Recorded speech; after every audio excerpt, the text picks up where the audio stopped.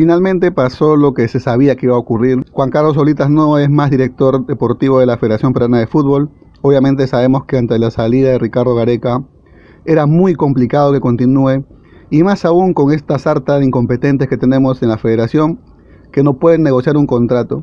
Ya sabíamos que Gareca no iba a continuar más, pero lo que nosotros esperábamos era que por lo menos Oblitas continúe, pero bueno, no ha sido así. Las negociaciones con Gareca fueron pésimas y Oblitas sigue el mismo camino que Gareca. Deja la selección peruana y lo hace mediante un comunicado justamente donde confirma que no continuará más. El comunicado empieza diciendo que el 3 de junio del presente concluyó mi contrato con la Federación Peruana de Fútbol. Sin embargo, hasta la fecha he continuado ejerciendo la función de director deportivo en los distintos temas que fueron surgiendo en los últimos días por el cariño y respeto que le tengo a la institución. Desde que mi situación contractual terminó, he tenido la intención y predisposición de continuar en el cargo para retomar el proyecto que se inició hace más de siete años. Lamento no haber encontrado reciprocidad por parte de la Federación Peruana de Fútbol en esta intención, por lo que me toca concluir con esta linda etapa de mi carrera profesional. Como siempre le deseo lo mejor al fútbol peruano. Así firma el gran Juan Carlos Solitas, que obviamente también en su comunicado es muy frío y simplemente pues menciona una palabra clave que tampoco hubo con Gareca, que es reciprocidad.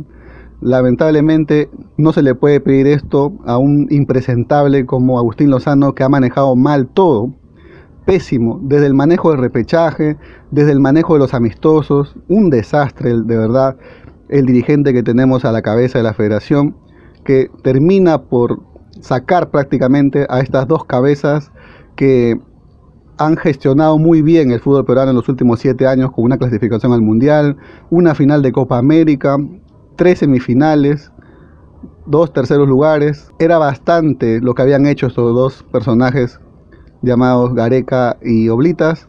Y este señor, pues impresentable, termina por arruinar, arruinar el trabajo. Y ahora sí no sabemos qué es lo que va a ocurrir. ¿eh? lo que se viene es durísimo, porque hay que encontrar el director técnico y el gerente deportivo. La pregunta es, ¿habrá alguien que quiera trabajar con estos señores? ¿Se atreverá alguien a arriesgar su prestigio para trabajar al lado de estos impresentables que no tienen idea de lo que es una pelota de fútbol? ¿Quién ahora será aquella persona valiente que se atreva a trabajar con estos señores? Yo creo que es muy difícil y lo mejor que le puede pasar al fútbol peruano es que este señor se vaya renuncia a su cargo, que por cierto hasta ahora no da una explicación. No sabemos nada de él. Desde que Gareca habló, ya han pasado cuánto? Han pasado dos días y no se sabe nada de Agustín Lozano, no se sabe nada sobre el posible nuevo entrenador, no se sabe nada sobre qué va a ser de la dirección deportiva de la federación, no se sabe nada.